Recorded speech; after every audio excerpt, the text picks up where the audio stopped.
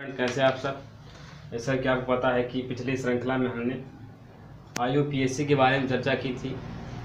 कुछ बच्चों के कमेंट्स थे और मेरे पास क्वेरीज थी कि इलेक्ट्रॉनिक विन्यास के बारे में बताया जाए।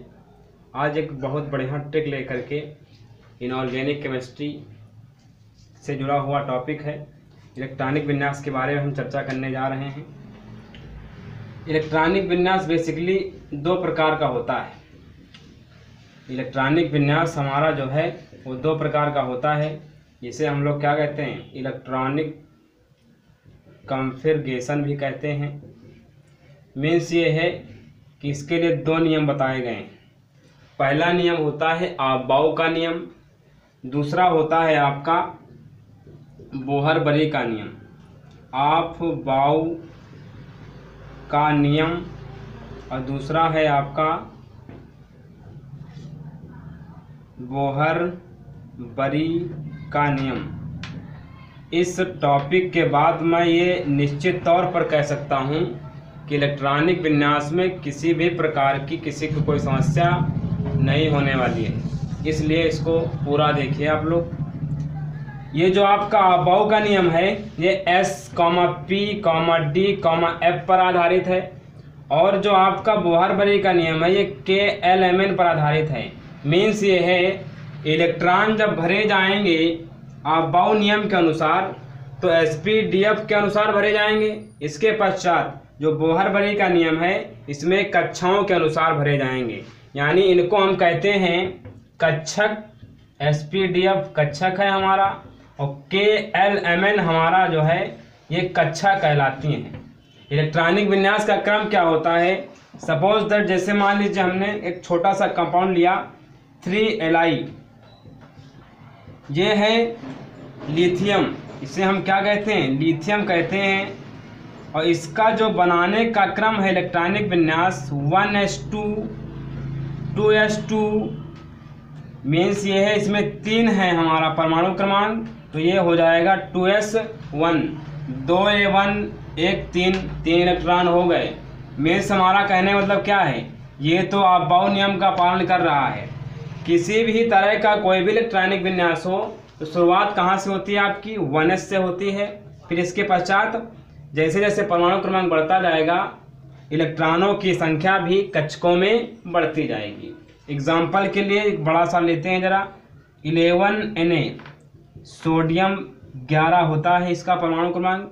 इसका इलेक्ट्रॉनिक विन्यास करने के लिए क्या करें? One S two two S two two P six छः दो आठ दो, दस इलेक्ट्रॉन, और वन क्या हो गया आपका? Three S one. अंतिम कक्षा में एक इलेक्ट्रॉन। यहाँ पे अंतिम कक्षा में एक इलेक्ट्रॉन। इक्वल वन इलेक्ट्रॉन यहाँ लिखा जा सकता है, कोई इसमें संशय नहीं है। मीन्स क्या हो गया? लिथियम, सोडियम आवर्त सारणी में एक ही वर्ग में आने वाले तत्व हैं। इसलिए इनका जो इलेक्ट्रॉनिक विन्यास था, एक जैसा ही था। यहाँ पे समझ पा रहे हैं। बेसिकली फंडा ये कहता है कि इलेक्ट्रॉनिक विन्यास की शुरुआत कहाँ से होती है? वन एस से। इसके पश्चात आपका टू एस आता है, फिर टू पी आता है, फिर इसके पश्चात थ्री एस आता है। ये आप बाउ नियम का पालन कर रहा है। अब यहाँ पे जरा थोड़ा सा चौबीस क्या ले लें हम? एम ले लें। मैग्नीस कहते हैं इसको हम लोग। क्या कहते हैं हम लोग? मैग्नीस इलेक्ट्रॉनिक विन्यास का प्रोसेस क्या होता है? One S two two S two two P six three S two जरा गिनते हैं six two eight ten twelve three P six कितना हो गया? एट्टीन परमाणु क्रमांक चौबीस है। अब जो थ्री पी सिक्स है, इसके पश्चात हमारा क्या आता है? थ्री पी सिक्स के बाद हमारा फोर एस आएगा। लेकिन यहाँ पे थोड़ा समझना है कि सिक्स टू एट हो गया एट सिक्स फोर्टीन हो गया सिक्सटीन और एटीन मीन्स कितने इलेक्ट्रॉन बचे हमारे पास? कुल मिला करके छः इलेक्ट्रॉन तो आपके दिमाग में आ रहा होगा, यहाँ दो इलेक्ट्रॉन भर दिए जाएँ। चलिए ठीक है, अब चार इलेक्ट्रॉन बचे। चार इलेक्ट्रॉन भरे जाएँगे कहाँ? थ्री में। लेकिन ये भी गलत है। सही क्या है? सही ये है कि इसको ऐसे बिगाड़ करके हम यहाँ क्या कर दें? वन कर दें और यहाँ थ्री डी फाइव कर दिया जाए।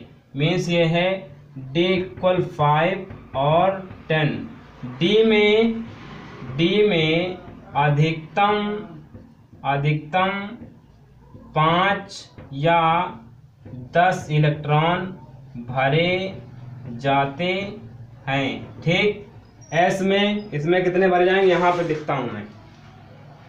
देखिए जरा एस बराबर दो पी बराबर छ डी बराबर दस एफ़ बराबर चौदह।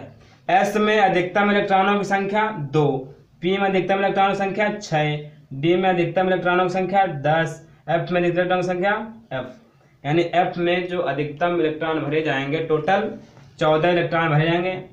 मैं समझता हूँ आज के लिए इतना पर्याप्त है। इसमें जो भी संशोधन करना हो या किसी भी प्रकार की आपको कोई प्रॉब्लम हो समझने में तो तुरंत कमेंट करें। मैं इसको जो है सुधार करूँगा। Thank you.